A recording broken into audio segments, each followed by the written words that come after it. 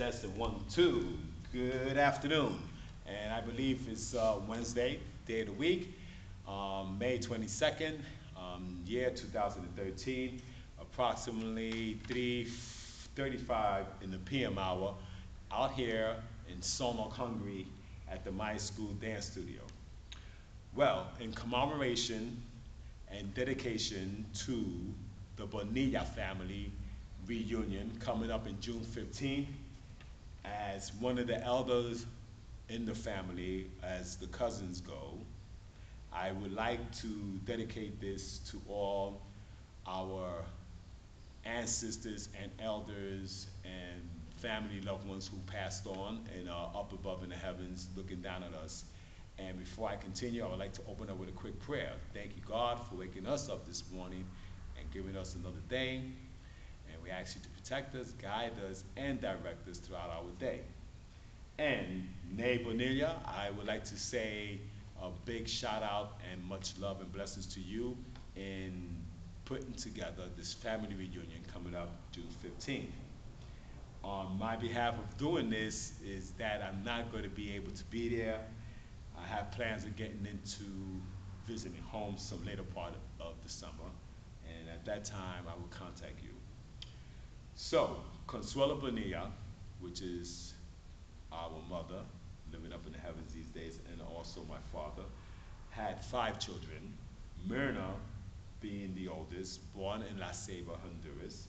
Um, great dancer, true fashion trendsetter, uh, great moms, a mom of five boys. Um, I believe out of the Bonilla family, uncles and aunts, we were the first one who migrated into the United States, and that was New York City. And me being one of the elders of the family members as cousins and males, um, first one born in New York, actually in Harlem, and um, grew up. Me and Myrna at the time lived and shared a apartment over on 112th Street and Lenox Avenue, two blocks away from Central Park.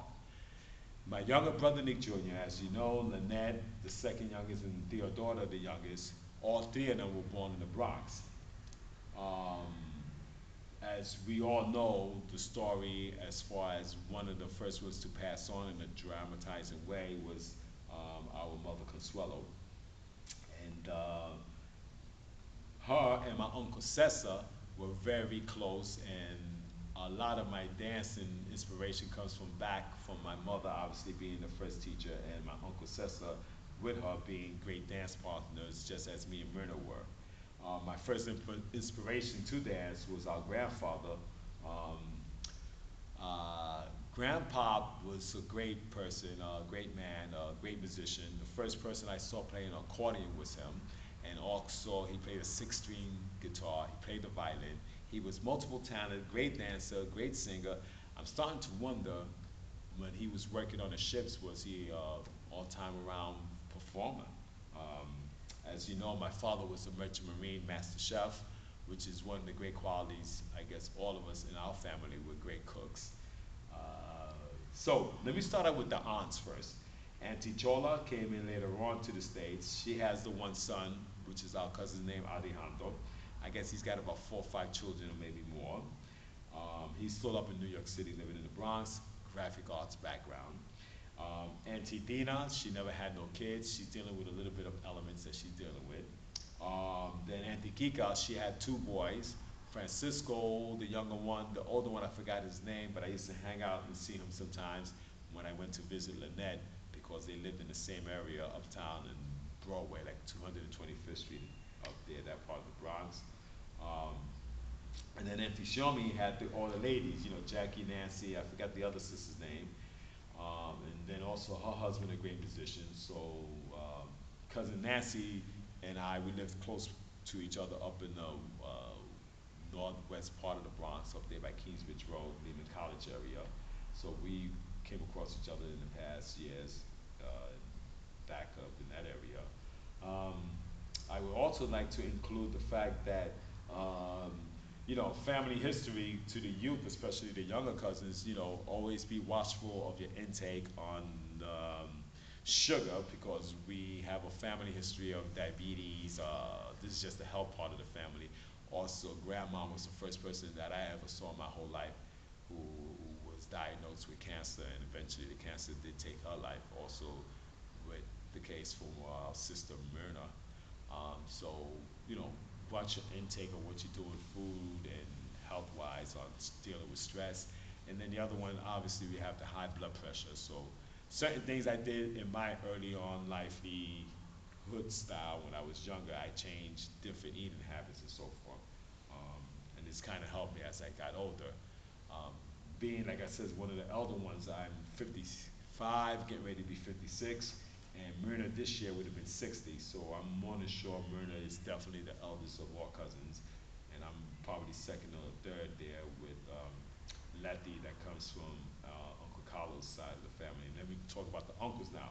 Uncle Carlos, you know, I remember Letty, we spent quite a few times uh, growing up, younger days, Sandra, I remember Judy, uh, Beto, so forth and so on.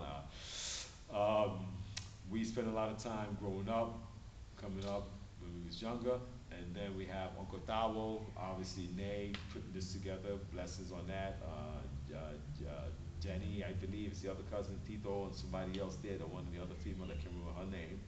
Um, I would have to give a big hello and shout out to my Uncle Cesar and Ophelia. Um, these two individuals were really close with me when I got up and, you know, coming up as a teenager. Spent a lot of time and weekends with Uncle Cesar on his, at his place. Actually, he's the first one that took me to the circus. My Aunt Ophelia, she's the one that I chaperoned a lot and was showing me how to shop for clothes all the way out in Brooklyn, Abraham and Straus. Um, and I'm really thankful for our mother for showing us our roots of the Yoruba faith um, and continue to follow that, even though we was brought up as a Catholic. Um, and with that history going into where, um, you know, the Reyes part of the family, I know a little bit more history of that. That comes from the Castilla part of Spain. And actually, um, uh, the Reyes translates to kings, and this noble Spanish family were the ones who bought the slave business from the English and migrated and all these other slaves from Nigeria, Africa. And the Yoruba faith comes from there. So my first uh, introduction to it was from our mother. Uh, my birthday is December 5th, and they have one of the Orishas, um, which is considered one of the most powerful male ones. Um, and his colors is red and white, which I had on earlier on one of the dance segments. His name is Shango. And um, they used to have like a drum session, actually called Little Bembe at the house before my birthday. And I really didn't understand it at the time, but as I got older and reconnected through the dancing world with Myrna and our faith again, and I still today practice it. Um, so um, one of the things that's part of uh, us as far as being a people from the Latin American countries, from our slavery ancestors from West Africa. Uh, so I touched a couple of areas. I did a couple of dance segments. I'm gonna update this and download it into the YouTube as soon as I get back to my flat. And uh, I hope you guys enjoy it. I wish each and every one of you guys a loving, enjoyable, peaceful, great time with the family reunion on the June 15th. And I just want to say to each and every one of your guys, cousins and uncles and aunts, got much uh, love and blessings to your guys I hope to connect with y'all when I get in sometime in August. Um, so, other than that, I catch you guys on the Facebook. Uh, much love to everybody. Enjoy yourself. Again, Uncle Carlos, I mean, actually, Uncle Cesar, I meant to say, and Ophelia, got much love for each your guys for sharing a lot of stuff for me as a youngster coming up that I still use today as an adult.